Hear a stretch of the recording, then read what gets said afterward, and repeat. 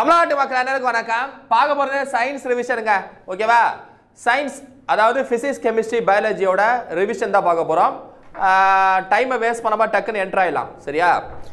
இந்த உலகத்தில் தோன்றிய முதல் செல் என்னென்னா ப்ரோகேரியோட்டிக் செல்கள் ப்ரோகேரியோட்டிக் செல்கள் தான் பூமி உருவானதுலேருந்து ஸ்டார்ட் ஸ்டார்ட் ஆகி அது ஆரம்பி ஆரம்ப புள்ளியில் ஆரம்பித்த முதல் செல் என்னன்னா ப்ரோகேரியோட்டிக் செல்கள் அந்த ப்ரோகேரியோட்டிக் செல்லோட பரிணாம வளர்ச்சி தான் வந்து யூகேரியோட்டிக் செல்கள்னு சொல்லி சொல்லுவாங்க.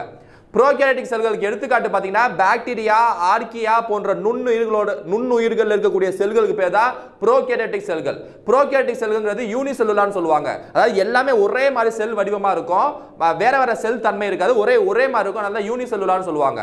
ப்ரோகேரட்டிக் செல்கள் வந்து நியூக்ளியஸ் இருக்காது. அதாவது அணுக்கரு இருக்காது. அதனால அது ப்ரோ கேரியோட்டிக் கேரியோட்டிக்னா நியூக்ளியஸ் ப்ரோனா பிஃபோர். அதாவது பிஃபோர் நியூக்ளியஸ்னா அர்த்தம். அணுக்கரு இருக்காது ப்ரோகேரியோட்டிக்ல இந்த ப்ரோகேரியோட்டிக்லோட பரிணாம வளர்ச்சி தான் யூகேரியோட்டிக் செல்கள். இந்த யூகேரியோட்டிக் செல்களில் வந்து அணுக்கரு இருக்கும். நியூக்ளியஸ் இருக்கும். இது இதுதான் அடிப்படை வித்தியாசம் ப்ரோகெரேட்டிக்கும் யூகேரியோட்டிக்கும் யூகேரியோட்டிக் செல்களுக்கு எடுத்துக்காட்டு பார்த்தீங்க அப்படின்னா animal cell and plant cell தாவர செல் மற்றும் விலங்கு செல் இப்போ மனித செல்னு பார்த்தீங்கன்னா விலங்கு செல்லுக்குள்ளே வரும். சரியா? இந்த ப்ரோ இந்த இந்த ப்ரோகேட்டிக் செல்களில் பாக்டீரியா செல்களில் ஒரு விதமான ஒரு பாதுகாப்பு கவசம் மாதிரி ஒன்று இருக்கும். அதுக்கு பேர் என்ன அப்படின்னா பெப்டோகிளைகோஜன் அப்படின்னு சொல்லி சொல்லுவாங்க. பெப்டோகிளைகோஜன் அப்படின்னு சொல்லக்கூடியது ப்ரோகேரிட்டிக் செல்களில் பாக்டீரியா இருக்கக்கூடிய ஒரு பாதுகாப்பு கவசம் மாதிரி இருக்கக்கூடியதை பெப்டோகிளைகோஜன் அப்படின்னு சொல்லி சொல்லுவாங்க. பாக்டீரியாவில் ஓகேவா யூகேரிட்டிக் செல்களில் வந்து தாவர செல் விலங்கு செல்னு சொல்லிட்டு ரெண்டாக பிரிக்கலாம். தாவர செல்லை பொறுத்த வரைக்கும் மிகப்பெரிய வேக்யூல் இருக்கும். விலங்கு செல்லில் வந்து வேக்யூல்ஸ் வந்து சின்ன சின்னதாக இருக்கும். சரியா? இது தாவர செல்ல வேக்யூல்ஸ் பெருசாக இருக்கும். விலங்கு செல்ல வேக்யூல் சின்ன சின்னதாக இருக்கும். தாவர செல்கள் வந்து பிளாஸ்டிட்கள் அப்படின்னு சொல்லிட்டு எக்ஸ்ட்ரா இருக்கும். பிளாஸ்டிட்கள் சொல்லணும்னா குளோரோபிளாஸ் குரோமோபிளாஸ் லியூகோபிளாஸ்ட்னு சொல்லிட்டு மூணு பிளாஸ்டிடாக பிரிக்கலாம். இதில் குளோரோபிளாஸ்ட்ல வந்து குளோரோஃபில்னு சொல்லக்கூடிய ஒரு கண்டென்ட் இருக்கும். இந்த குளோரோஃபில் கண்டென்ட் இந்த குளோரோபிளாஸ்ட்ல கூடிய குளோரோஃபில் கண்டென்ட் இதுதான் வந்து குளோரோபிளாஸ்னு சொல்லுவாங்க.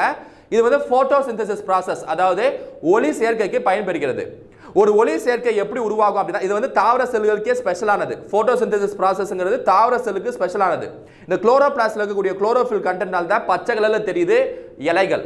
இந்த ஒளி சேர்க்கையில் வந்து என்னென்ன விஷயம்லாம் நடக்குது அப்படின்னா கார்பன் டை ஆக்சைடும் தண்ணி கார்பன் டை ஆக்சைடு தண்ணி ஒளி சன்லைட் இது மூணும் ஒன்றா சேர்ந்து குளுக்கோஸ் மற்றும் ஆக்சிஜனை உருவாக்குகிறது. அப்போ தாவர செல்லை வந்து கார்பன் டை ஆக்சைடை உள்ளே வாங்கி ஆக்சிஜனை வெளியேற்றுது குளுக்கோஸோட மாலிகுலர் ஃபார்முலா பார்த்தீங்கன்னா C six H twelve O six C six H twelve O six இது வந்து குளுக்கோஸோட மாலிகுலர் ஃபார்முலா. ஓகேவா? குளுக்கோஸோட மாலிகுலர் ஃபார்முலா. ஓகே? இந்த பிளான்ட் செல்ல வந்து பிளான்ட் செல்ஸ் எல்லாமே ஒன்று ஒன்று கனெக்ட் பண்ணக்கூடிய அந்த திசுக்களுக்கு பேர் என்னன்னா பெப்டோகிளைகோஜன் சொல்லுவாங்க. பெப்டோகிளைகோஜன் கனெக்டிங் பிளான் செல்ஸ்க்கு பேர் வந்து பெப்டோகிளைகோஜன் சொல்லுவாங்க. பிளான் செல்களை வந்து குளோரோபிளாஸ்ட் பார்த்துட்டோம். குரோமோபிளாஸ்ட் அப்படின்னா ஃப்ளவர்ஸ் அண்ட் ஃப்ரூட்ஸ் அந்த பிளான்ஸ் தாவரங்கள் மற்றும் பூக்களுக்கு வடி அதாவது அதுக்கான நிறங்கள் கொடுக்கக்கூடியது தான் குரோமோபிளாஸ்ட் குரோமோபிளாஸ்ட் வந்து கலரிங் ஆஃப் பிளான்ஸுக்கு ரெஸ்பான்சிபிளாக இருக்குது ஓகேவா லியூகோபிளாஸ்ட்ங்கிறது தாவரத்துக்கு தேவையான ஊட்டச்சத்தை வந்து ஸ்டோர் பண்ணிக்கக்கூடிய இடம் தான் வந்து லியூகோபிளாஸ்ட் லியூகோபிளாஸ்ட் அப்படின்னு சொல்லி சொல்லுவாங்க. லியூகோபிளாஸ்ட் ஓகேவா ஸோ ஆரம்ப செல் என்னது? ப்ரோகேரட்டிக் செல்கள் அதுக்கப்புறம் பரிணாம வளர்ச்சி அடைந்த செல் என்ன? யூகேரட்டிக் செல்கள் பாக்டீரியா ஆர்கே எதுக்கு எடுத்துக்காட்டு? ப்ரோகேரட்டிக் செல்கள் ப்ரோகேரட்டிக் செல்களில் வந்து என்ன இருக்காது? அணுக்கரு இருக்காது. யூகேரட்டிக் செல்களில் என்ன இருக்கும்? அணுக்கரு இருக்கும். இதான் மைய வித்தியாசம். ப்ரோகேரட்டிக்கும் யூகேரட்டிக்கும் யூகேரட்டிக் செல்களில் என்ன ரெண்டாக பிரிக்கலாம்? அனிமல் செல் பிளான்ட் செல் தாவர செல்கள் விலங்கு செல்கள் ரெண்டாக பிரிக்கலாம். சரியா? இல்லை பிளான்ட் செல்லில் வந்து ஒவ்வொரு பிளான்ட் செல்லையும் கனெக்ட் பண்ணக்கூடிய அந்த ஏஜென்ட் பேர் என்ன? பிளாஸ்மோ டெஸ்மாட்டா பிளாஸ்மோ டெஸ்மாட்டா ஓகேவா பிளாட் செல்ல வந்து மிகப்பெரிய வேக்யூல்ஸ் இருக்கும் சென்ட்ரலில் அனிமல் செல் அதாவது விலங்கு செல்ல வந்து வேக்யூல்ஸ் வந்து சின்ன சின்னதாக காணப்படும். சின்ன சின்னதாக காணப்படும் ஓகேவா இதை அப்படியே கட் பண்ணிட்டு கொஞ்சம் கெமிஸ்ட்ரி போயிட்டு திரும்ப ரிட்டர்ன் வருவோம். ஏன்னா ஆட்டம் ஆட்டம் ஒன்று இருக்குப்பா. அது வந்து பிரிக்க முடியாதுன்னு சொன்ன முதல் நபர் யாருன்னா ஜான் டால்டன்.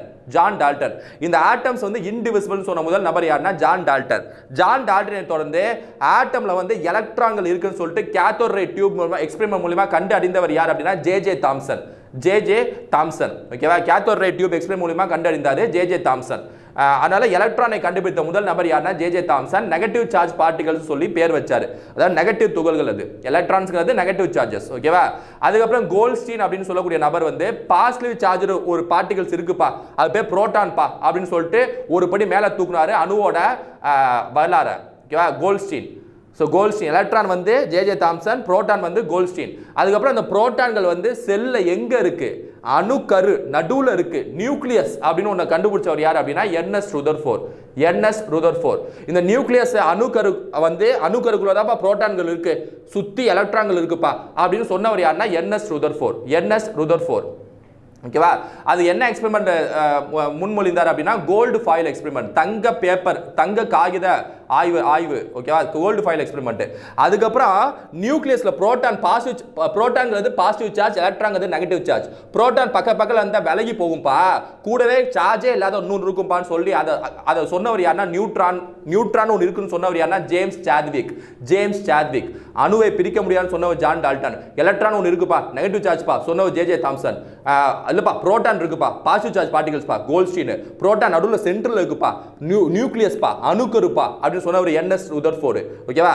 அந்த அணுக்கருக்குள்ள புரோட்டான் மட்டும் இல்லப்பா கூட வந்து நியூட்ரான் இருக்குப்பா சொன்னவர் வந்து James Chadwick James Chadwick James Chadwick ஓகேவா? இந்த எலக்ட்ரான்கள் சுற்றி இருக்குல்ல இந்த எலக்ட்ரான்கள் வந்து எனர்ஜி ஆற்றல் ஒரு வித விதமான ஆற்றலில் செயல்படுகிறது. இந்த ஆற்றல் வந்து ஒவ்வொரு தட்டாக இருக்கு. K shell L shell M shell N ஷெல்னு ஒவ்வொரு ஒரு கிரகத்தில் எப்படி சூரியன் வந்து மெர்க்குரி வீனஸ் அதாவது புதன் வெள்ளின்னு இடம் பிடிக்குதோ அந்த மாதிரி எலக்ட்ரான் அங்கங்கே பிடிக்குது. அப்படி K shell L shell M shell N shell பிடிக்குது அப்படின்னு சொன்னவர் யாருன்னா Niels Bohr Niels Bohr. So இவரோட கூற்றுப்படி முதல் எனர்ஜி லெவல் அதாவது முதல் ஆற்றல் நிலையில் ரெண்டு எலக்ட்ரான் ரெண்டாவது எனர்ஜி லெவலில் எட்டு எலக்ட்ரான் அதாவது அதிகபட்சம் பதினெட்டு குறைஞ்சபட்சம் எட்டு.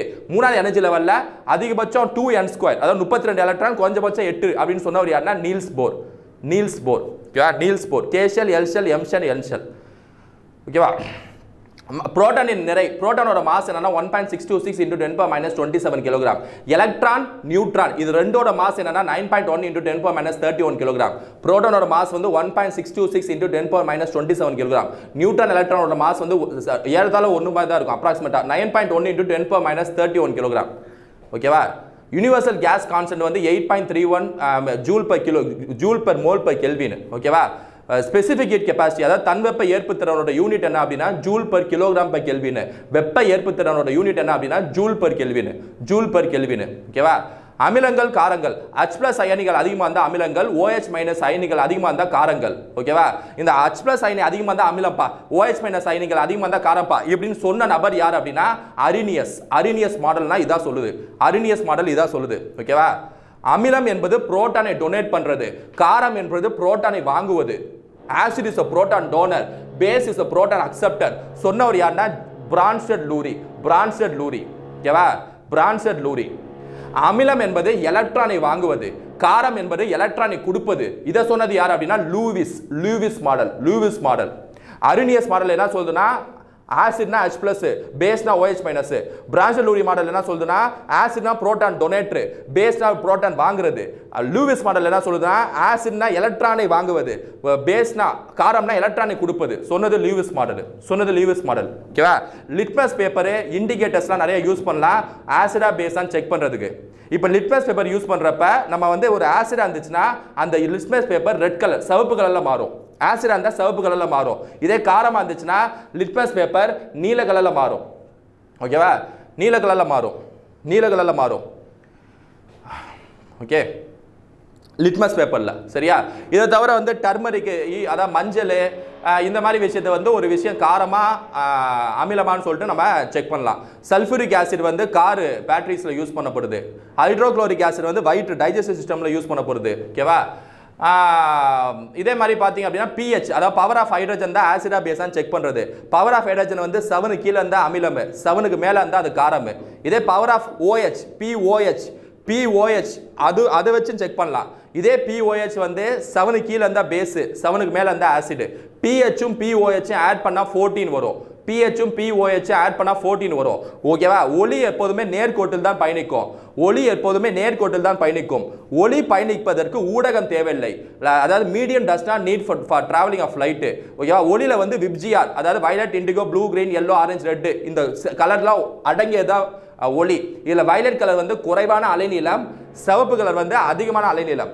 வயலட் வந்து லோவஸ்ட் வேவ்லென்த்து ரெட்டு வந்து ஹையஸ்ட் வேவ்லென்த்து வயலட் வந்து லோவஸ்ட் வேவ்லென்த்து ரெட்டு வந்து ஹையஸ்ட் வேவ்லென்த்து அப்போ எதுக்கு லோவஸ்ட் வேவ்லென்த் இருக்கோ அதுக்கு தான் ஊடுருவும் தன்மை ஜாஸ்தி அதுக்கு தான் ஃப்ரீக்குவன்சி ஜாஸ்தி அதுக்கு தான் எனர்ஜி ஜாஸ்தி. எதுக்கு ஹையஸ்ட் வேவ்லென்த் இருக்கோ அதுக்கு ஊடுருவும் தன்மை குறைவு ஃப்ரீக்குவன்சி குறைவு எனர்ஜி குறைவு ஆற்றல் குறைவு. ஆற்றல் குறைவு. ஓகே யூகேரட்டிக் செல்களில் வந்து நியூக்ளியஸ் இருக்கும் நியூக்ளியஸ்குள்ள நியூக்ளியோலஸ் இருக்கும்.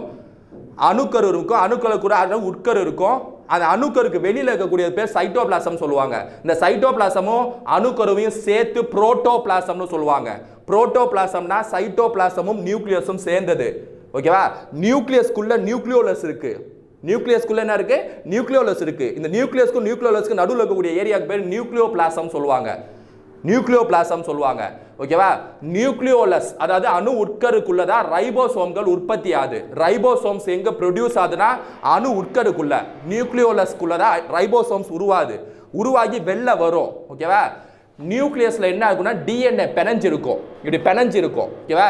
இந்த டிஎன்ஏ உள்ள பார்த்தீங்கன்னா நூல்கள் நூல்களாக இருக்கும். அது பேர் குரோமாட்டின்னு சொல்லுவாங்க. குரோமாட்டின்னு சொல்லுவாங்க. இந்த குரோமாட்டினும் ஹிஸ்டோன்னு சொல்லக்கூடிய இன்னொரு புரோட்டீன் அதாவது ஹிஸ்டோன் சொல்லக்கூடிய ஒரு புரோட்டீனும் குரோமாட்டின் இது ரெண்டு இணைஞ்சு தான் டிஎன்ஏ உருவாகுது. டிஎன்ஏக்கு ஃபுல் ஃபார்ம் என்னன்னா deoxyribonucleic acid deoxyribonucleic acid DNA DNA மொத்தம் நாலு காம்பவுண்டாக இணைஞ்சு உருவாது ஏடிஜிசி ஏனா அடினைனு டீனா தயமேனு ஜீனா குவானைனு சீனா சைட்டோசைனு ஏடிஜிசி காம்பவுண்டால் உருவாகிறது தான் டிஎன்ஏ டிஎன்ஏவோட பாதி வந்து ஆர்என்ஏ ரைபோ நியூக்ளிக் ஆசிடு டிஎன்ஏவோட பாதி வந்து ஆர்என்ஏ ஓகேவா டிஎன்ஏ வந்து அப்புறம் பேர் என்னது? குரோமேட்டின் ப்ளஸ் ஹிஸ்டோன்ஸ் சேர்ந்து உருவா ஹிஸ்டோன்கள் சேர்ந்து உருவாது தான் டிஎன்ஏ ஓகேவா இந்த குரோமேட்டின் வந்து அடுத்தது அதாவது மைட்டோசிஸ் மியோசிஸ்னு சொல்லுவாங்க. செல் டிவிஷனை செல் அந்த பகுப்பு பேர் வந்து மைட்டோசிஸ் மியோசிஸ் சொல்லுவாங்க.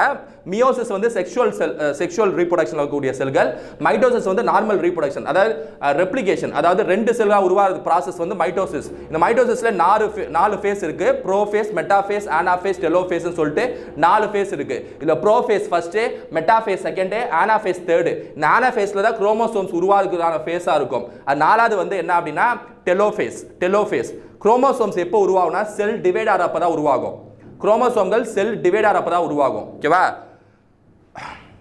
லென்ஸை ரெண்டாக பிரிக்கலாம். Convex lens concave lens. கண்ணாடியை ரெண்டாக பிரிக்கலாம். Concave mirror convex mirror. ஓகேவா கான்கேவ்ங்கிறது குழி கண்ணாடின்னு சொல்லுவாங்க. கான்வெக்ஸ்ங்கிறது குவி கண்ணாடின்னு சொல்லுவாங்க. கான்வெக்ஸ் லென்ஸுங்கிறது குவி லென்ஸு. கான்கேவ் லென்ஸுங்கிறது குழி லென்ஸு. ஓகேவா கான்கேவ் மிரருக்கு என்ன பண்புகள் இருக்கோ அந்த பண்பு தான் கான்வெக்ஸ் லென்ஸுக்கு இருக்கும்.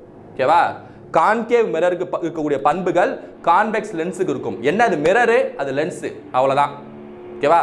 கான்கேவ் மிரர் அதாவது குழி கண்ணாடி எங்கெங்கெல்லாம் பயன்படுத்தப்படுது அப்படின்னா டார்ச் லைட்டுக்கு பயன்படுத்தக்கூடியது குழி கண்ணாடி. Concave concave concave. வண்டி ஹெட்லைட்டுக்கு பயன்படுத்தப்படக்கூடியது concave mirror concave mirror concave mirror. ஓகேவா? காரில் போகிறப்ப சைடு மிரர் பார்ப்பீங்களா பின்னாடி வரவங்கள. ஒரு மிரர் இருக்கும்ல அது பேர் கான்வெக்ஸ் மிரர் ஏன்னா கான்வெக்ஸ் மிரர் எப்போவுமே ஒரு ஆப்ஜெக்ட்டை சின்னதாக தான் காட்டும். சின்னதாக தான் காட்டும். சின்னதாக தான் காட்டும். வேற கான்கேவ் மிரர் பக்கத்தில் வரப்ப ஆப்ஜெக்டை மேக்னிஃபைடாக காட்டும். மேக்னிஃபைடாக காட்டும். ஓகேவா கான்கேவ் மிரர் எப்போவுமே ஆப்ஜெக்டை ரியலாக காட்டும்.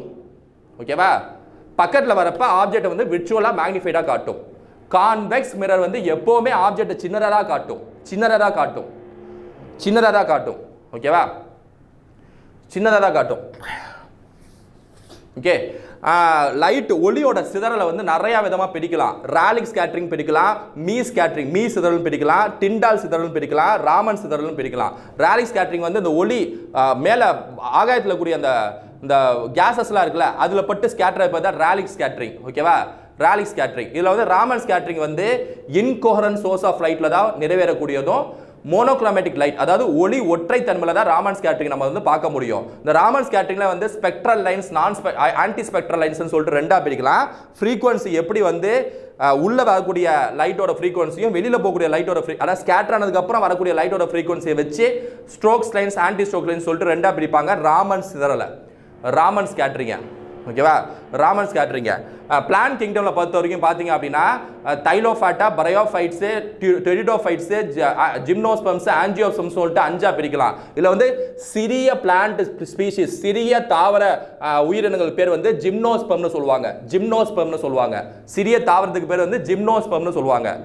ஜிம்னோஸ்பம்ஸ் ஓகேவா இதில் வந்து அக்வா அக்வாட்டிக் ஆர்கனிசம்ஸில் அதாவது கடல் சார்ந்த உயிரினங்களில் காணப்படக்கூடியது வந்து பிரயோஃபைட்ஸ் பிரயோஃபைட்டா பிரயோஃபைட்டா அது வந்து ஸ்டெம் இருக்கும் ரூட் இருக்கும் பிரயோஃபைட்ஸுக்கு ஓகேவா கிங்டம் அனிமல் கிங்டம் பார்த்தீங்கன்னா யூகரேட்டிக் செல்களே வந்து பிளான்ட் அனிமலை தவிர ப்ரொட்டிஸ்டா கிங்டம் ஒன்று இருக்கு. புரொட்டிஸ்டாங்கிறது பிளான்ட் இல்லை அதாவது தாவரமும் இல்லை விலங்கும் இல்லை ஒரு தனி கிங்டம் தான் வந்து புரொட்டிஸ்டா ஓகேவா புரொட்டிஸ்டா கிங்டம்னு சொல்லுவாங்க.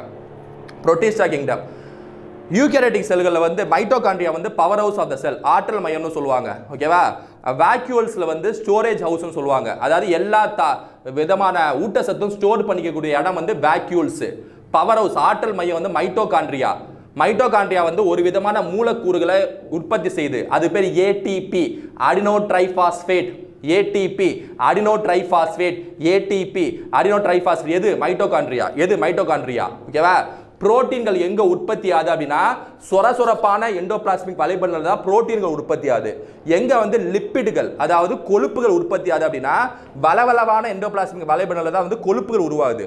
புரோட்டீன் சொரசொரப்பான கொழுப்புகள் வளவளவான புரோட்டீன் சொரசொரப்பான கொழுப்புகள் வளவள வளவளவான. இந்த புரோட்டீன் புரோட்டீன் வந்து சுரசுரப்பான எண்டோபிளாஸ்மிக் வலைபடல தான் உருவாகுது. புரோட்டீன் உருவாகிறதுக்கு ஹெல்ப் பண்ணுறது யார் அப்படின்னா ரைபோசோம்ஸ். ரைபோசோம்ஸ் ஆல்ரெடி சொன்னேன் எங்கே உருவாதே அணு உட்கரில் உருவாதுன்னு சொன்னேன். இப்போ அணு உட்கரில் உருவான ரைபோசோம் வந்து வெளியில் சைட்டோபிளாசம் நோக்கி வரும். இந்த டிஎன்ஓட பாதி ஆர்என்ஏன்னு சொல்லக்கூடியதும் சைட்டோபிளாசம் நோக்கி வரும். எம்ஆர்என்ஏன்னு சொல்லுவாங்க மெசஞ்சர் ஆர்என்ஏன்னு சொல்லுவாங்க. இந்த எம்ஆர்என்ஏ வந்து இன்ஸ்ட்ரக்ஷன் கொடுக்க கொடுக்க சைட்டோபிளாசமில் இருக்கக்கூடிய அமினோ அமிலங்களை இழுத்து ரைபோசோம்கள் வந்து புரோட்டீனை உற்பத்தி செய்யும். புரோட்டீன் உற்பத்தி செய்வதற்கான மூலப்பொருட்கள் வந்து amino acids amino acids. Amino acids எங்கே காணப்படும்னா சைட்டோபிளாசமில் காணப்படும். டிஎன்ஏ ஆர்என்ஏ ரைபோசோம்ஸ் எங்கே காணப்படும்னா நியூக்ளியஸ்குள்ளே காணப்படும். நியூக்ளியஸ்குள்ளே காணப்படும். அப்போ அமினோ அமிலங்கள் உயிர் வாழ்கிற இடம் எங்கப்பா? அமினோ அமினோ அமிலங்கள் சைட்டோபிளாசம் சார். டிஎன்ஏ ஆர்என்ஏ எங்கப்பா இருக்குது sir nucleus sir nucleus sir. Chromosomes எப்பப்போ உருவாகும்? Sir cell division sir cell பகுப்பப்போ தான் சார் குரோமோசோம் உருவாகும். அந்த நாலு ஃபேஸ் என்னப்பா? Prophase metaphase anaphase telophase sir இல்லைங்க எந்த ஃபேஸ்லப்பா குரோமோசோம்ஸ் உருவாகிறது காணப்படும்? ஆனா ஃபேஸ் சார் எது ஃபஸ்ட்டுப்பா prophase sir plant kingdom எத்தனையோ பிரிக்கலாம்ப்பா?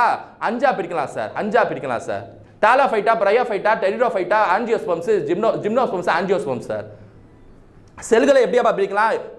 யூ யூகேரட்டிக் செல் இதில் வந்து பேக்டீரியா எதுப்பா? Prokaryotic sir animal cell plant cell எதுப்பா? யூகேட்டிக் செல் எதுப்பா? பிளாஸ்மோ டெஸ்மாட்டா பிளான் செல் ரெண்டையும் சேர்க்கிற பேர் தான் சார் பிளாஸ்மோ டெஸ்மாட்டா யார்ப்பா எலக்ட்ரானை கண்டுபிடிச்சா? ஜே ஜே தாம்சன் சார் யார்ப்பா புரோட்டனை கண்டுபிடிச்சா? கோல்சின் சார் யார்ப்பா அதுக்குள்ள அணுக்கரு உள்ள இருக்குன்னு சொன்னா? என்ன சுதர்ஃபோர்ட் சார் யார்ப்பா கேத்தோர் எக்ஸ்பெரிமெண்ட் செஞ்சா? ஜே ஜே தாம்சன் சார் யார் அணுவை பிரிக்க முடியாதுன்னு சொன்னா? ஜான் டால்டன் சார் யார் வந்து நியூக்ளியஸ்குள்ள நியூட்ரான் இருக்குன்னு சொன்னா? ஜேம்ஸ் சார்திக் சார் யார் K shell L shell M shell N shell சொன்னா? நீல்ஸ் போர் சார் ஆக்சிடேஷன்னா என்னன்னா addition of oxygen removal of hydrogen பேர் தான் ஆக்சிடேஷன் ஆக்சிடேஷன்ங்கிறது ஆக்சிஜனை சேர்ப்பது ஒரு கெமிக்கல் ரியாக்ஷனில் ஹைட்ரஜன் ரிமூவ் பண்ணுறது ரிடக்ஷன் அதாவது ஒடுக்கம் அப்படின்னா ஹைட்ரஜனை சேர்க்கிறது ஆக்சிஜனை ரிமூவ் பண்ணுறது so oxidation is addition of oxygen ஒடுக்கம் ஆக்சிஜன் ஏற்றம்னா ஆக்சிஜனை சேர்ப்பது ஒடுக்கம் அப்படிங்கிறது ஹைட்ரஜனை சேர்ப்பது. இதுக்கு இன்னொரு டெஃபினேஷன் சொல்லலாம். ஆக்சிடேஷன்னா லாஸ் ஆஃப் எலக்ட்ரான்ஸ் எலக்ட்ரான்களை விடுவது.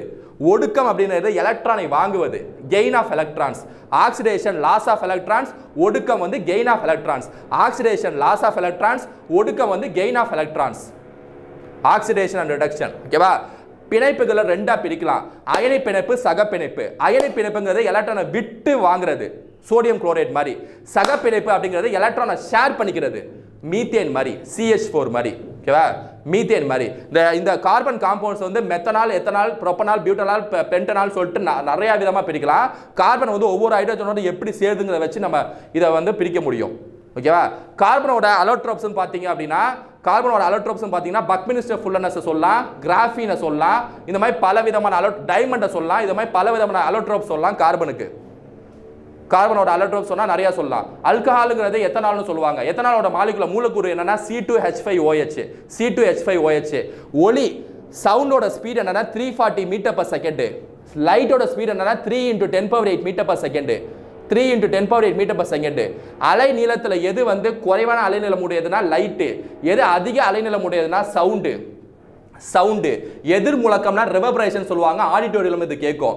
டாப்லர் எஃபெக்ட்னா வந்து சேஞ்ச் இன் ஃப்ரீக்வன்சி அதாவது ஒரு ரெண்டு பொசிஷன் உள்ள பொருள் வந்து ரெண்டு ரிலேட்டிவ் மோஷன் வரப்ப ஃப்ரீக்வன்சி மாறுப்பான்னு சொன்ன பேர் தான் Doppler Doppler Christian Doppler Doppler effect இந்த டாப்ளர் எஃபெக்டோட அப்ளிகேஷன் எங்க அப்படின்னா எங்க இதை பயன்படுத்துவாங்க அப்படின்னா ஒரு மோட்டர் ரைக்கிள் நீங்க வேகமா போறீங்க அப்படின்னா போலீஸ் டக்குன்னு கண்டுபிடிப்பாங்க ஒரு ஸ்பீடை டாப்ளர் எஃபெக்ட் டாப்லர் எஃபெக்ட் குழந்தை வயிற்றுக்குள்ள இருக்கிற ஹார்ட் பீட்டை கண்டுபிடிக்கிறாங்களா? ஹார்ட் பீட்டை டாப்லர் எஃபெக்ட் டாப்லர் எஃபெக்ட் ஓகேவா டாப்ளர் எஃபெக்ட் மயோபியா அதாவது கிட்ட பார்வை மயோபியானா கிட்ட பார்வை கிட்டல இருக்க தெரியும் தூரத்துல இருக்க தெரியாது. மயோப்பியானா கிட்டல இருக்க தெரியும் தூரத்தில் இருக்க தெரியாது. இதுக்கு எந்த லென்ஸை பயன்படுத்தலாம் அப்படின்னா கான்கேவ் லென்ஸை கான்கேவ் லென்ஸை குழி லென்ஸை வந்து பயன்படுத்தலாம் மயோபியாக்கு ஹைப்பர் மெட்ரோபியா அதாவது தூர பார்வைக்கு எதை பயன்படுத்தலாம் அப்படின்னா கான்வெக்ஸ் லென்ஸை குவி லென்ஸை ஹைப்பர் மெட்ரோபியானா குவி லென்ஸு மயோபியானா கான்கேவ் லென்ஸு குழி லென்ஸு ஓகேவா இதை தவிர ப்ரெஸ் பயோபியான்னு இருக்கும். வயதானவங்களுக்கு தோற சிலியரி மசில்ஸ் மசில்ஸ் வீக்கானால வரக்கூடியது. பிரஸ் பயோபியா இதில் வந்து பை கான்கேவ் லென்ஸை பயன்படுத்த முடியும். பை அதாவது பை ஃபோக்கல் லென்ஸ் கான்கேவும் இருக்கும் கான்வெக்ஸ் இருக்கும். கான்கேவ் இருக்கும் கான்வெக்ஸ் இருக்கும். மயோபியாங்கிற நோய் எப்படி உருவாகும்னா கண்ணோட ரெட்டினாக்கு முன்னாடி இமேஜ் உருவா உருவா உரு கண்ணோட ரெட்டினாக்கு ரெட்டினாவில் விழுந்துச்சுன்னா நல்லா தெரியும். ரெட்டினாக்கு முன்னாடி இமேஜ் வந்து விழுந்துச்சுன்னா அப்போ நமக்கு வந்து மயோபியா ரெட்டினாக்கு பின்னாடி விழுந்துச்சுன்னா அப்போ வந்து நமக்கு வந்து ஹைப்பர்மெட்ரோபியா ஓகேவா தூரப்பார்வை. ஹைப்பமெட்ரோபியா ஓகேவா ஹீட்டில் வந்து மின் கட அதாவது வெப்ப கடத்தி வெப்ப சலனம் கதிர்வீச்சுன்னு சொல்லிட்டு மூணாக பிரிக்கலாம். கண்டக்ஷன் கன்வெக்ஷன் ரேடியேஷன் கண்டக்ஷன்ங்கிறது அயன் பாக்ஸ் வச்சு அயன் பண்ணுறீங்களா அப்போ ஹீட் ஒரு இடத்துல இருந்து ஒரு இடம் மாறுதா? கண்டக்ஷன் வெப்ப கடத்தி. வெப்பத்தை கடத்துறீங்க. அயன் பாக்ஸ்லேருந்து த- துணிக்கு கடத்துறீங்க. வெப்ப சலனம் அப்படிங்கிறது வெப்பத்தை கடத்த மாட்டீங்க. வெப்பத்தை வந்து ஏதாவது ஒரு பார்ட்டிகல்ஸை வச்சு கடத்துவீங்க. இப்போ உதாரணத்துக்கு ஹீட் அதிகமாக அடிக்கிறப்ப நிலத்தில் இருக்கக்கூடிய சூதா சூடான காற்றெல்லாம் மேலே பயணிக்கும். அப்போ ஒரு ஒரு துகளே ஹீட்டை மேலே எடுத்துகிட்டு போகுது. நீங்கள் அயன் பாக்ஸ் வச்சு கண்டக்ஷன் கண்டக்ஷன் என்னென்னா அயன் பாக்ஸு அப்போ வெப்பம் மட்டும் தான் ஆகும். எங்கே தூ எதுவும் பார்ட்டிகல்ஸில் எதுவும் எடுத்துகிட்டு போகாது. ஆனால் கன்வெக்ஷன் வெப்ப சலனத்தில் ஒரு பார்ட்டிகளே ஹீட்டை ட்ரான்ஸ்ஃபர் பண்ணும். ஓகேவா எடுத்துக்காட்டுக்கு வந்து லேண்ட் பிரீஸ் சீ பிரீஸ் நிலக்காற்று கடல் காற்று ஜாரிஃபில் படிச்சிருப்பீங்க. கன்வெக்ஷனுக்கு எடுத்துக்காட்டு. ரேடியேஷனுங்கிறது ஒரு ஒரு பாடியிலேருந்து வெளியேறக்கூடிய கதிர்வீச்சு தான் வந்து ரேடியேஷன் சொல்லுவாங்க. இது வந்து வேவ்ல வேவ்ஸாக வெளியேறும். பார்ட்டிகல்ஸாக வெளியேறாது. ஓகேவா துகள்களா வெளியேறாது. வேவ்ஸாக வெளியேறும். இதான் ரேடியேஷன் ஓகேவா ஐசோடோப் அப்படின்னா atoms having same atomic number different mass number ஒரே அணு எண் வெவ்வேறு நிறை எண் தான் ஐசோடோப். ஐசோபார்னா ஒரே நிறை எண் வெவ்வேறு அணு எண்ணா ஐசோபார். ஐசோடோன்னா ரெண்டுமே வேற வேற இருக்கும். நியூட்ரான் எண்ணிக்கை சேமா இருக்கும். நியூட்ரான் எண்ணிக்கை சேமாக இருக்கும். ஓகேவா ஐசோடோப்னா same atomic number different mass number ஐசோபார்னா same mass number different atomic number ஐசோடோன்னா அட்டாமி அணு எண்ணு வேற நிறை எண்ணு வேற ஆனால் நியூட்ரான் எண்ணிக்கை சேமா இருந்துச்சுன்னா அது பேர் ஐசோட்டோன் ஐசோட்டோன் ஐசோட்டோன் ஐசோட்டோன் ஓகேவா பீ வேதியியல் அட்டவணையை முதலில் சொன்னவர் யார்? வேதியியல் அட்டவணையின் அதாவது வேதியியல் அட்டவணை பற்றி முதலில் ஆராய்ந்தவர் யார் அப்படின்னா டாபரினர் டாபரினர் டாபரினர். ஓகேவா மும்மைகள் விதி லா ஆஃப் ட்ரையாட்ஸ்னு சொல்லிட்டு அறிவிச்சாரு. டாப்ரினருக்கு அப்புறம் நியூலாண்டு நியூலாண்டு ஆக்டேவ் விதி லா ஆஃப் ஆக்டேவ்ஸ்னு சொல்லிட்டு வெளியிட்டாரு. சரிகமா பதனிசா அந்த மாதிரி இருக்கும்பா அப்படின்னு சொல்லிட்டு. அதுக்கப்புறம் ஆக்டேவுக்கு அப்புறம் லா ஆஃப் ஆக்டேவ்ஸ் அதாவது நியூலாண்டுக்கு அப்புறம் வெளியிட்டவர் தான் father of chemist father of periodic table வேதியியல் அட்டவணையின் தந்தை. யாரு? மிட்ரி மெண்டிலீவ் மிட்ரி மெண்டிலீவ். அவர் காலத்தில் ஏறத்தால ஐம்பத்தாறு எலிமெண்ட்ஸ் மேலே கண்டுபிடிச்சிருப்பாங்க. யார் காலத்தில்? மிட்ரி மெண்டிலிவ் காலத்தில். ஸோ அந்த டைமில் வந்து அவர் வந்து குரூப்ஸ் அண்ட் பீரியட்ஸ் உருவாக்குறாரு. ஓகே பீரியட்ஸ் அண்ட் குரூப்ஸ் ஓகேவா தொகுதிகள் தொடர்கள். தொகுதிகள் தொடர்கள். குரூப்ஸ் பீரியட்ஸ் உருவாக்குறது யாருன்னா மிட்ரி மெண்டிலிவ் அவரை தொடர்ந்து யார் அப்படின்னா அவரை தொடர்ந்து யார் அப்படின்னா ஹென்ரி மோஸ்லே. ஹென்ரி மோஸ்லேமே அதே பீரியட்ஸ் அண்ட் குரூப்ஸ் தான் வச்சிருப்பாரு. ஆனால் ஒவ்வொரு ஆட்டம் வந்து எப்படி நீங்கள் அரேஞ்ச் பண்ணணும்னா அணுவோட எண்ணெய் வைத்து அரேஞ்ச் பண்ணுங்கப்பா. அட்டாமிக் நம்பரை வச்சு ஒன்று ஒன்று அரேஞ்ச் பண்ணுங்கப்பா அணுவோட எண்ணெய் வச்சு. அட்டாமிக் மாசை வச்சு அரேஞ்ச் பண்ணாதீங்கப்பான்னு சொன்னவர் யாருன்னா ஹென்ரி மோஸ்லே. இது எக்ஸாம்பிளுக்கு ப்ரீவியஸ் இதில் கேட்டிருக்காங்க. யார் வந்து அணுவோட எண்ணெய் வைத்து அணுக்களை அரேஞ்ச் பண்ண சொன்னா பீரியட் டேபிள்னு சொன்னா மோஸ்ட்லி யார் அணுவின் நிறைய வைத்து அரேஞ்ச் பண்ண சொன்னா அப்படின்னா Dmitri Mendeleev Dmitri Mendeleev father of modern period table யாருன்னா இப்போ மோஸ்ட்லி தான். மாடர்னாக உருவாக்குன மோஸ்ட்லி இப்போ பார்க்குறீங்களா? அது மோஸ்ட்லி தான். முதல் அட்டவணை வந்து கார உலோகங்கள். ரெண்டாவது குரூப் வந்து கார மண் உலோகங்கள். அதாவது alkali metals alkaline earth metals மூணாவது குரூப்ல இருந்து பதினாலாவது குரூப் அதாவது மூணாவது குரூப்ல இருந்து பதினாலாவது குரூப் வரைக்கும் பதினஞ்சு பதினாறு பதினேழு பதினெட்டு. சாரி மூணாவது குரூப்ல இருந்து பன்னெண்டாம் குரூப் வரைக்கும் டிரான்சிஷன் மெட்டல்ஸ் டிரான்சிஷன் மெட்டல்ஸ் பதிமூணாவது குரூப் வந்து போரான் ஃபேமிலி பதினாலாவது குரூப் வந்து கார்பன் ஃபேமிலி பதினஞ்சாவது குரூப் வந்து நைட்ரஜன் ஃபேமிலி பதினாறாவது குரூப் வந்து சால்கோஜன் ஃபேமிலி சால்கோஜன் ஃபேமிலி பதினேழாவது குரூப் வந்து halogen family fluorine chlorine bio bromine iodine astatine halogen family பதினெட்டாவது குரூப் வந்து மந்த வாயுக்கள் மந்த வாயுக்கள் மந்த வாயுக்கள் noble gases helium neon argon krypton xenon radon மந்த வாயுக்கள் ஓகேவா ஸோ மொத்தம் அப்போ பதினெட்டு குரூப்பாக பிரிக்கலாம். பதினெட்டு குரூப்பாக பிரிக்கலாம். ஓகேவா இதில் எதிர் எலக்ட்ரோ நெகட்டிவிட்டி எதிர் மின்னோட்டம் ரைட் ஹேண்ட் சைடில் இருக்கக்கூடிய ஆட்டம்ஸ்க்கு வந்து அதிகமாக இருக்கும். லெஃப்ட் ஹேண்ட் சைடில் இருக்கிறது வந்து கம்மியாக இருக்கும். அப்போ லெஃப்ட்லேருந்து ரைட்டு போக போக வேதியியல் அட்டவணையில் லெஃப்ட்லேருந்து ரைட்டு போக போக எலக்ட்ரோ நெகட்டிவிட்டி இன்க்ரீசஸ் ஓகேவா அதுவே அணுவின் ஆரம். லெஃப்ட்லேருந்து ரைட்டு போக போக decreases atomic radius decreases electronegativity increases அயனிகளின் ஆற்றல் அயனைசேஷன் எனர்ஜி இன்க்ரீசஸ் ஓகேவா ஆக்சிடேஷன்னா என்ன அப்படின்னா எந்த ஒரு எலிமெண்ட் வந்து எலக்ட்ரானை விட்டுச்சுன்னா அது பேர் ஆக்சிடேஷன் ஓகேவா அது அப்போ இன்னொரு ஆட்டம்க்கு வந்து ரிடக்ஷனை செய்ய வைக்குதுல. அதனால் அதை வந்து ரெடியூசிங் ஏஜென்ட்னு சொல்லுவாங்க. எந்த ஆட்டம் வந்து ஆக்சிடேஷன் செய்தோ அது வந்து ரெடியூசிங் ஏஜென்ட்டு எந்த ஆட்டமில் வந்து ரிடக்ஷன் நடக்குதோ அது oxidation oxidising agent oxidising agent oxidising agent ஓகேவா ஆக்சிடைசிங் ஏஜென்ட் பி ஒன்னால பெரி பெரி அப்படின்னு சொல்லக்கூடிய இது உருவாகுது. இது ஸ்டெப்டோகோக்கஸ் நியூமோனா வந்து நியூமோனியாக்காக மைக்ரோபாக்டீரியம் டியூபோக்ளோசிஸ் வந்து டியூபோக்ளோ டியூபோக்ளோசிஸ்க்காக விப்ரியோ கால்ட்ரா வந்து கால்ட்ரா நோயை பரப்புவதற்கு இதாகுது. விப்ரியோ கால்ட்ரா விப்ரியோ கால்ட்ரா ஓகேவா விப்ரியோ கால்ட்ரா ஃபீமேல் அனஃபலஸ் மஸ்கிட்டோ வந்து மலேரியாவை பரப்புது. ஃபீமேல் அனஃபலஸ் மஸ்கிட்டோ வந்து மலேரியாவை பரப்புது ஓகேவா சால்மோனலா டைஃபாய்டு சால்மோனலா டைஃபி வந்து டைஃபாய்டை பறக்கக்கூடிய ஒரு பாக்டீரியா இது இல்லாமல் பாக்டீரியா டிசீசஸ் ஸோ மைக்ரோ நுண்ணுயிர்களை வந்து நிறையா பிரிக்கலாம். Bacteria virus fungi protozoa helminthic diseases வந்து நிறையா பிரிக்கலாம். எது அப்படின்னா நுண்ணுயிர்களை. Micro micro organisms diseases okay micro organism diseases வந்து இந்த மாதிரி நிறையா வகையாக நம்ம பிரிக்கலாம். ஓகேவா பவர் ஆஃப் ஹைட்ரஜன் வந்து அதிகபட்சம் வந்து சோடியம் ஹைட்ராக்சைடு இருக்கும். குறைந்தபட்சம் வந்து ஹைட்ரோகுளோரிக் ஆசிட் இருக்கும். ஹைட்ரோகுளோரிக் ஆசிட் வந்து ஸ்ட்ராங்கஸ்ட் ஆசிட் மிகவும் சக்தி வாய்ந்த அமிலம் எதுனா ஹைட்ரோக்ளோரிக் ஆசிட் தான்.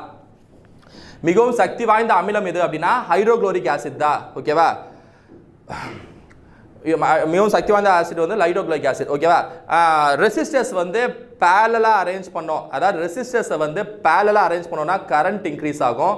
இதே அதாவது சாரி ரெசிஸ்டர்ஸை பேரலாக அரேஞ்ச் பண்ணோம்னா கரண்ட் இன்க்ரீஸ் ஆகும். இதே ரெசிஸ்டர்ஸை வந்து சீரீஸில் அரேஞ்ச் பண்ணோம் அப்படின்னா வோல்டேஜ் இன்க்ரீஸ் ஆகும். வோல்டேஜ் இன்க்ரீஸ் ஆகும். ஓகேவா மின்ஸ் அதாவது ஒரு ஒயர் கேரிங் கண்டக்டர் சுற்றி ஒரு ஃபீல்டு இருக்குப்பா. ஒரு எலக்ட்ரிக் ஃபீல்டு இருக்கு சொன்னவர் யார் அப்படின்னா Michael Faraday Michael Faraday electromagnetic waves மின்காந்த அலைகளை கண்டுபிடித்தவர் யார் அப்படின்னா James Clerk Maxwell James Clerk Maxwell ஓகேவா இப்போ சார்ஜஸ் ரெண்டாக இருக்கும்ப்பா பாசிட்டிவ் சார்ஜ் நெகட்டிவ் சார்ஜ் ரெண்டு இருக்கும்ப்பா அப்படின்னு சொன்னவர் யாருன்னா பெஞ்சமின் ஃப்ராங்க்லே கைட் எக்ஸ்பெரிமெண்ட் மூலியமாக சொல்லியிருப்பாரு. சார்ஜஸ் வந்து ரெண்டாக பிரிக்கலாம். ஒன்று வந்து பாசிட்டிவ் சார்ஜ் இன்னொன்று வந்து நெகட்டிவ் சார்ஜ் இதில் வந்து பாசிட்டிவ் சார்ஜ் ரெண்டு வந்து ரிப்பல் ஆகும். கடந்து போகும் நெகட் ஆப்போசிட் சார்ஜ் எப்போ அட்ராக்ட் ஆகும்னு சொன்னவர் யாருன்னா Coulomb. Coulomb Coulomb's law of attraction சொல்லுவாங்க. Coulomb's law force of attraction சொல்லுவாங்க. Coulomb force of attractions டேட்லி proportional to K into F one F two divide by R square சொல்லி ஃபார்முலா இருக்கும். இது வந்து நியூட்டனோட கிராவிடேஷன் கான்செப்ட்லேருந்து கிராவிடேஷன் ஃபார்ம்லேருந்து எடுக்கப்பட்டது. ஓகேவா கிராவிடேஷன் ஃபார்ம்ல இருந்து எடுக்கப்பட்டது தான் கூலும்ஸ்லா பேட்டரியை முத முதல் கண்டுபிடிச்சவர் யார் அப்படின்னா அலெக்சாண்ட்ரா வோல்டா அனிமல் எலக்ட்ரிசிட்டியை கண்டுபிடிச்சவர் யார் அப்படின்னா Galvani Galvani animal electricity animal electricity அதாவது தவக்காலில் இருந்து மின்சாரம் எடுக்க முடியும்னு சொன்னவர் யாருன்னா கல்வானி கல்வானி ஓகேவா கால்வானி எலக்ட்ரிசிட்டி பிரின்சிபல்னு சொல்லுவாங்க. ஓகேவா force is equal to MA Newton மூன்று விதி இருக்குது முதல் விதி வந்து என்ன சொல்லுதுன்னா லா ஆஃப் இனர்ஷியா அதாவது நிலைமை விதி ரெண்டாம் விதி என்ன சொல்லுது அப்படின்னா force is equal to MA அதாவது விசை is equal to mass into acceleration மூன்றாம் விதி என்ன சொல்லுதுன்னா ஒவ்வொரு வினைக்கும் எதிர்வினை உண்டு. For every action that is an equal and opposite reaction வந்து மூன்றாம் விதி. இதே மாதிரி வெப்ப இயக்கவியல் தெர்மோடைனமிக்ஸ்க்கு வந்து நான்கு விதி இருக்கு. ஒன்று வந்து ஜீரோ லா ஜீரோ லா என்ன சொல்லுதுன்னா ஏவும் சியும் வந்து வெப்ப சமநிலையில் இருக்கு. பியும் சியும் வெப்ப சமநிலையில் இருக்குன்னா ஏவும் பியும் கண்டிப்பாக வெப்ப சமநிலை இருந்தே ஆக வேண்டும். அப்படின்னு சொல்லிட்டு ஐஸ்கிரீமு ஒரு கடல் காஃபியை வச்சு நீங்கள் எக்ஸாம்பிள் வச்சுக்கலாம் ஓகேவா so when A and C are in thermal equilibrium whereas B and C are in thermal equilibrium then A and B should be in thermal equilibrium with each other. இது வந்து zeroth law ஓகேவா zeroth law of thermodynamics first law என்ன சொல்லுதுன்னா internal energy ஃபார்முலாவை பற்றி பேசுது. Internal energy is equal to அதாவது உள்ள ஆற்றல் is equal to heat supply to the system minus work done by the system ஓகேவா internal energy is equal to U minus அதாவது del U is equal to Q minus W புக்கில் இருக்கும். இல்லைனா law of conservation of energy ஓகேவா ஆற்றலின் ஆற்றல் ஆற்றலின் அந்த விதி ஆற்றல் விதின்னு கூட சொல்லலாம். அதான் வந்து ஃபர்ஸ்ட் லா ஆஃப் தெர்மோடைனமிக்ஸ் வெப்ப இயக்கவின் முதல் விதி வந்து ஆற்றல் விதி. Energy can neither be created nor be destroyed it can be transform from one place to another ஒரு ஒரு ஆற்றல் என்பது அழிக்கவும் முடியாது ஆக்கவும் முடியாது ஒரு இடத்துல இருந்து இடத்துக்கு மாற்ற முடியும். First law of thermodynamics second law of thermodynamics வந்து என்ட்ரோபி அப்படிங்கிற ஒரு வார்த்தையை பற்றி பேசுது. என்ட்ரோபி ஆல்வேஸ் இன்க்ரீசஸ் சொல்லுது. ஓகேவா ஏன்னா எப்பவுமே வெப்பம் வந்து அதிக வெப்பநிலையிலிருந்து குறைவான வெப்பநிலை நோக்கி தான் ஓடும். இது ரிவர்ஸில் நடக்காது. அது ஏன் ஓடுது? அது என்ன காரணம் அப்படின்னா அந்த அந்த ப்ராசஸ் பேரை என்ட்ரோபின்னு சொல்லி பேர் வைக்கிறாங்க. செகண்ட் லால அந்த என்ட்ரோபி எப்போவுமே இன்க்ரீஸ் ஆகும்னு சொல்லி சொல்கிறாங்க ஓகேவா தேர்ட் லா ஆஃப் தெர்மோடைனமிக்ஸ் வந்து entropy reaches to a constant value ஒரு கான்ஸ்டன்ட் வேல்யூ நோக்கி போயிடும்னு சொல்கிறாங்க அந்த கான்ஸ்டன்ட் வேல்யூ வந்து minus two seven three degree செல்சியஸ்னு சொல்லலாம். இல்லாட்டினா ஜீரோ கெல்வின்னு சொல்லலாம். இது வந்து தேர்ட் லா ஆஃப் தெர்மோடைனமிக்ஸ் பற்றி பேசுகிறோம் டெம்பரேச்சர் பற்றியான ஸ்கேல் வந்து ஃபேரனிட் இருக்குது செல்சியஸ் இருக்குது கெல்வின் இருக்குது ஃபேரனிட்டில் பொறுத்த வரைக்கும் தேர்ட்டி டூ டிகிரி ஃபேரனிட் தான் அதோட freezing point two twelve degree Fahrenheit வந்து மெல்ட்டிங் பாயிண்ட்டு செல்சியஸில் பொறுத்த வரைக்கும் zero degree Celsius hundred degree Celsius வரைக்கும் போகும். ஒரு டெம்பரேச்சர் வந்து ஒரு ஒரு தண்ணியை பா- தண்ணியை சூடு பண்ணுறப்ப ஹண்ட்ரட் டிகிரி செல்சியஸை தாண்டாது. அதுக்கப்புறம் போச்சுன்னா அது ஆவியாக மாறிடும். அந்த அதுக்கப்புறம் கான்ஸ்டண்ட்டாக நிற்குதுல அதாவது டெம்பரேச்சர் பா அதாவது டெம்பரேச்சர் வந்து மாறல. அதுக்கப்புறம் ஒரு ஸ்டேட்லேருந்து இன்னொரு ஸ்டேட்டுக்கு மாறுதுல. இந்த ப்ராசஸ் பேர் லேட்டன்ட் ஹீட் அப்படின்னு சொல்லுவாங்க. லேட்டன்ட் ஹீட் லேட்டன்ட் ஹீட் அப்படின்னு சொல்லி சொல்லுவாங்க. ஓகேவா latent heat Boltzmann constant value என்னன்னா one point three eight into ten power minus thirty seven one point three eight into ten power minus thirty thirty seven வந்து Boltzmann கான்ஸ்டன்டோட value Boltzmann கான்ஸ்டன்டோட value ஓகேவா one point three eight into ten power minus thirty seven அப்படின்னு சொல்லக்கூடியது. Okay universe பேரண்டத்தோட முதல் விதி வந்து big bang theory பெருவெடிப்பு கொள்கை. ஓகேவா யூனிவர்ஸ் யூனிவர்ஸில் வந்து இந்த டாப்ளர் எஃபெக்ட்டில் ரெட் ஷிஃப்ட் டாப்லர்னு சொல்லுவாங்க. அது என்னன்னா கேலக்ஸி ரெண்டும் பிரிஞ்சு போகிறதுக்கு பேர் ரெட் ஷிஃப்ட் ஃபினாமனான்னு சொல்லுவாங்க. கேலக்சிஸ் பால் பா நம்ம வாழக்கூடிய அண்டம் பேர் வந்து பால்வழி அண்டம். மில்கி வே கேலக்சின்னு சொல்லுவாங்க. ஓகேவா ஒரு ஸ்டார் வந்து வெடிக்குது அப்படின்னா அங்கே வந்து ஒரு பிளாக் ஹோல் உருவாகுது. கொலாப்ஸ் ஆகுது. ஒரு ஸ்டார் கொலாப்ஸ் ஆகுது அப்படின்னா அங்கே பிளாக் ஹோல் உருவாகுது அப்படின்னு சொல்லிட்டு பல சயின்டிஸ்ட் சொல்கிறாங்க சந்திரசேகர் லிமிட்டை பொறுத்த வரைக்கும் one point four four times the mass of the சன்னு அதாவது சூரியனை விட ஒன் பாயிண்ட் ஃபோர் ஃபோர் மடங்கு அதிகமாகுதுன்னு சொல்லுவாங்க சந்திரசேகரோட லிமிட்டு சந்திரசேகர்ஸ் லிமிட்டு பூமியில் மட்டும் எட்டு கோள்கள் இருக்குது ஒன்பதாவது கோள் ப்ளூட்டோன்னு சொன்னாங்க ஆயிரத்தி தொள்ளாயிரத்தி முப்பதில். ப்ளூட்டோவை கண்டுபிடித்தவர் யாருன்னா கிளைடு டாம்பாக் அதை வந்து ரெண்டாயிரத்தி ஆறு வாக்கில் இன்டர்நேஷனல் அஸ்ட்ராமிக்கல் யூனியன் அதாவது சர்வதேச விண்வெளி மையம் வந்து அது ப்ளூட்டோ வந்து ஒரு கோள் இல்லப்பா அப்படின்னு சொல்லி சொல்லிடுச்சு. அப்போ மொத்தம் எட்டு கோள்கள் இருக்கு. முதல் நாலு கோள் வந்து திடக்கோள்கள் அடுத்த நாலு கோள்கள் வந்து வாயு கோள்கள் கடைசி கோள் வந்து நெப்- கடைசி கோள் வந்து நெப்டியூனு. இல்ல பூமி வந்து மனிதர்கள் மற்றும் வெள்ளங்கள் வாங்க வாழக்கூடிய ஒரு கோள். கிரீன் பிளானட்னு எதை சொல்லுவாங்கன்னா யுரேனஸை சொல்லுவாங்க. கிரீன் பிளானட்னு சொல்லிட்டு. எந்த கோளுக்கு வந்து ரிங்ஸ் இருக்கு அப்படின்னா சாட்டன் அதாவது சனிக்கு வந்து வியாழனுக்கு வந்து ரிங்ஸ் இருக்கு. ரிங்ஸ் இருக்கு. எது பிக்கஸ்ட் கோல் அப்படின்னா ஜூபிட்டர் எது ஸ்மாலஸ்ட் கோல் அப்படின்னா மெர்குரி எது வந்து ஹார்டஸ்ட் பிளானட் அதாவது வெப்பமான கோள் அப்படின்னு கேட்டீங்கன்னா வீனஸ் அதாவது வெள்ளி. வெள்ளி. E is MC to mc ஸ்கொயருங்கிறது ஈக்குவேஷனு ஓகேவா நியூக்ளியர் ஃபிசிக்ஸில் பொறுத்த வரைக்கும் யுரேனியம் டூ தேர்ட்டி ஃபைவ் அப்படிங்கிற எலிமெண்ட் தான் நம்ம பயன்படுத்துகிறோம் நியூக்ளியர் ஃபிஷன் அப்படின்னா அணு சிதைவுன்னு சொல்லுவாங்க. அதாவது ஒரு ஆட்டம் ரெண்டாக உடையிறது நியூக்ளியர் ஃபியூஷன் அப்படின்னா அணு சேர்வுன்னு சொல்லுவாங்க. சூரியன் உருவானது வந்து நியூக்ளியர் ஃபியூஷன் அணு சேர்வுனால் உருவானது சூரியன்.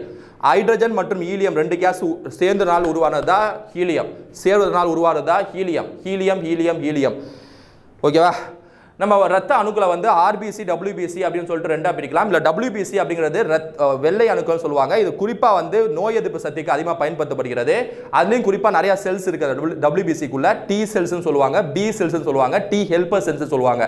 இது எல்லாமே எப்போ நம்ம வைரஸ் பாக்டீரியா வருதோ அப்போ இது வந்து ஒரு ஆர்மி அதாவது ஒரு படை மாதிரி கிரியேட் ஆகி அதை அட்டாக் பண்ணக்கூடிய வேலைகளை பார்க்கும்.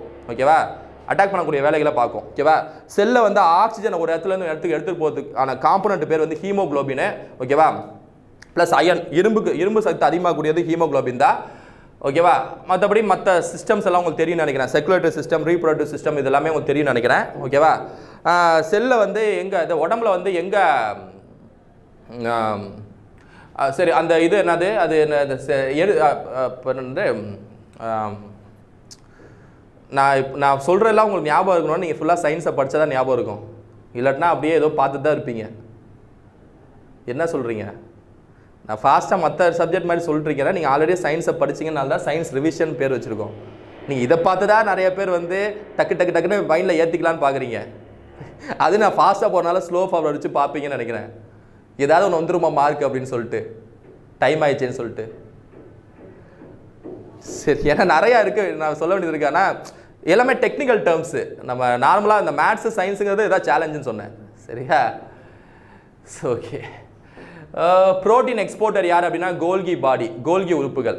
ஓகேவா கோல்கி உறுப்புகள். மைட்டோகாண்டியில் என்ன மாலிகூல்ஸ் உருவாகும்னு சொன்னேன்? ATP adeno triphosphate adeno triphosphate லைசோசோம்ஸ்ங்கிறது செல்லில் உருவாகக்கூடிய மற்ற மூலக்கூறுகள் வேஸ்ட் ப்ராடக்ட்ஸ்லாம் டைஜஸ்ட் பண்ணக்கூடிய ஒரு டைஜஸ்டிங் பாடி தான் வந்து மை லைசோசோம்ஸ். லைசோசோம்ஸ் வந்து சூசைட் பேக்னு சொல்லுவாங்க. தற்கொலை பைன்னு சொல்லுவாங்க.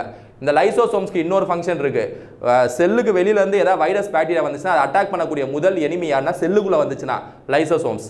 லைசோசோம்கள். லைசோசோம்கள். வேக்யூல்ஸ் வந்து உணவுப் பொருட்கள் செல்லக்கூடிய ஊட்டச்சத்து பொருட்கள் வேஸ்ட்லாம் ஸ்டோர் பண்ணிக்கக்கூடியதாக வேக்யூல்ஸ் லைசோசோம்ஸ் அழிச்சிடும் வேக்யூல்ஸ் வந்து ஸ்டோர் பண்ணிக்கும். ஓகேவா வேக்யூல்ஸ் ஸோ புரோட்டீன் வந்து ஸ்மூத்து லிப்பிட் வந்து ஸ்மூத்து ப்ளோ ப்ரோட்டீன் வந்து ரஃப்லேருந்து ரெண்டும் போய் கோல்கியில் போய் சேரும். கோல்கி வந்து பாடி ஃபுல்லாக ஏற்றுமதி செய்யும் ப்ரோட்டீனை ஸோ செல்லோட அடிப்படை வேலை வந்து புரோட்டீனை உற்பத்தி செய்வது தான் ஒரு செல்லோட அடிப்படை வேலை அப்படிங்கிறது ஒரு புரோட்டீன் என்பதை உற்பத்தி செய்வதுதான் ஒரு செல்லோட அடிப்படை வேலை. சவுண்டு எப்போவுமே சாலிட் திடப்பொருளை தான் அதிக வேகமாக ட்ராவல் பண்ணோம். திரவப்பொருளை திரவ பொருளை கம்பேர் பண்ணும்போது.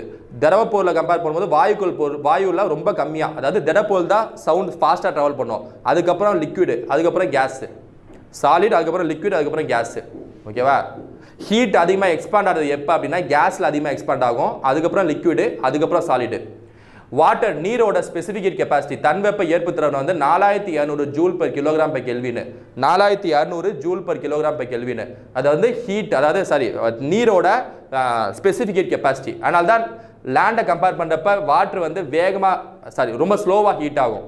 ஏன்னா அதனால தான் வாட்டர் வந்து நிறையா நீ- நீர்மின் அது நிறைய பவர் பிளான்ஸில் வந்து கூலண்ட்டாக பயன்படுத்துகிறாங்க ஏன்னா வாட்டர் ரொம்ப ஸ்லோவாக தானே ஹீட் ஆகுது. கூலண்ட்டாக பயன்படுத்திக்கலாம்னு சொல்லிட்டு. ஏன்னா மணல் மணலையாக தூக்கி கூலண்ட்டாக பயன்படுத்துகிறாங்க இல்லை இல்லை. வாட்டர் தானே பயன்படுத்துகிறாங்க அதுக்கு அதான் காரணம். ஏன்னா வாட்டருக்கு ஸ்பெசிஃபிக் கெப்பாசிட்டி தன்வெப்ப ஏற்புத்திறன் வந்து அதிகமாக இருக்கும். வாட்டருக்கு ஸோ அதான் முதன்மையான காரணமாக நம்ம பார்ப்போம். ஓகேவா முதன்மையான காரணமாக பார்க்கப்படும். ஃபோர்ஸ் மோஷனு இங்கிட்ட என்ன? கெமிஸ்ட்ரியில் ஆசிட் பேஸ் எலிமெண்ட் காம்பவுண்டு இந்த எலிமெண்ட் காம்பவுண்டில் sulphur tie ஆக்சைடுங்கிறது both oxidising agent and reducing ஏஜென்ட்டாக செயல்படும். சல்ஃபர் டை ஆக்சைடு இதில் oxidation number reduction number questions கேட்கலாம். மேத்ஸ் ஃபாலோவிங்கில் அதை நல்லா பார்த்துக்குங்க. யூசர்ஸ் அப்ளிகேஷன்ஸ் அங்கங்கே கேட்கலாம். அதையும் நல்லா பார்த்துக்குங்க. ஓகேவா என்னால் முடிஞ்ச அளவுக்கு சொன்னேன். நிறையா சொல்ல முடியும். ஓகேவா இருந்தாலும் ரொம்ப ஏற்ற வேணாம் கடைசி நேரத்தில் இருக்கீங்க. இன்னும் மற்ற சப்ஜெக்ட்லாம் படிக்கணும்ல. ரிவைஸ் ரிவிஷன் சொல்கிறேன் சரியா? ஸோ அதனால் நெக்ஸ்ட்டு அடுத்த கிளா ரிவிஷனில் பார்ப்போம்.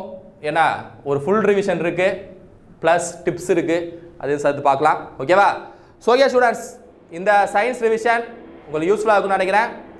நெக்ஸ்ட் ரிவிஷனில் நம்ம சந்திப்போம். ஓகேவா ஸோ நெக்ஸ்ட் வீடியோ இதை கொஞ்சம் பாஸ் பண்ணி பாஸ் பண்ணி இல்லைன்னா ஸ்லோ மோஷனில் பார்த்தா உங்களுக்கு புரியும்னு நினைக்கிறேன்.